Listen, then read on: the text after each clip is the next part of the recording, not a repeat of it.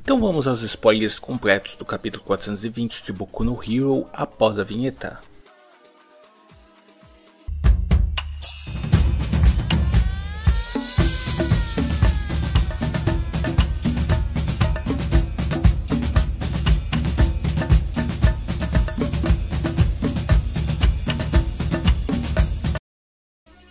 Olá pessoal, bem-vindos ao canal Spoilersista, Sonde aqui na voz e antes do conteúdo desse vídeo não se esquece de deixar seu like, se inscrever no canal, ativar o sininho assim você não perde nenhum vídeo novo. E sem mais delongas, vamos ao vídeo.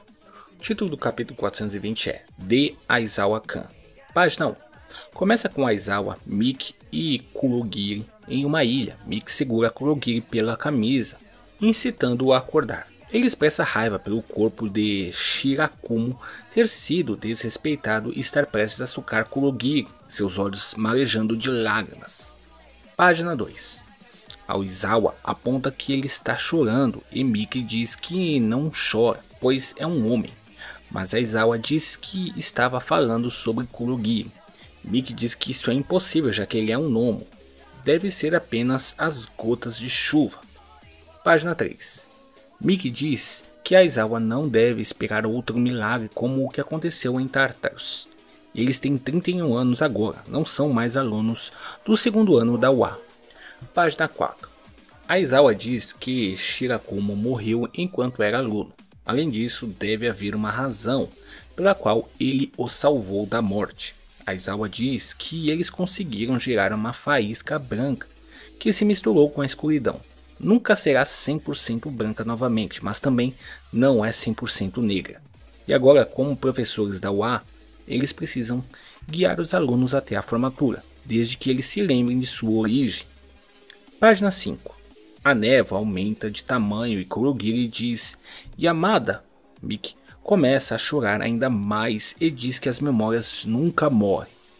Corta para Tsukaushi, na sala de controle e Aizawa pergunta se Monoma ainda pode lutar. Página 6. Ele diz que Monoma não pode porque bateu a cabeça e está inconsciente. Aizawa então pergunta quantas pessoas ainda podem lutar. Corta para Aizawa chegando no abrigo subterrâneo e dizendo a Ectoplasma que eles agora podem usar os portais de Kurogiri. Página 7. Ele diz que não sabe quanto tempo Kurogiri funcionará então precisa reunir o maior número possível de heróis no menor tempo possível. Death Arm se voluntaria para lutar, e também outro herói, ninguém menos que Astro de Barragem. O civil, que não queria deixar Deku entrar na UA, tira a camisa e a entrega para Izawa pedindo para ele usá-la para tratar os ferimentos de algum herói. Vários outros civis fazem o mesmo, a Izawa os agradece. Tsukaushi diz que a batalha em Takoba ainda não acabou. Página 8. Corta para Takoba e vemos Gashly lutando contra Zero, Sato, 13 e outros heróis. Página 9. Tudo parece perdido, mas de repente Tokage, Kamakiri, Ectoplasma e outros heróis chegam através dos portais. Fase 3 da operação: Dividir e Conquistar. Início. Página 10. Corta para o presente, Aizawa pergunta quanto tempo faz desde que Deku perdeu os braços.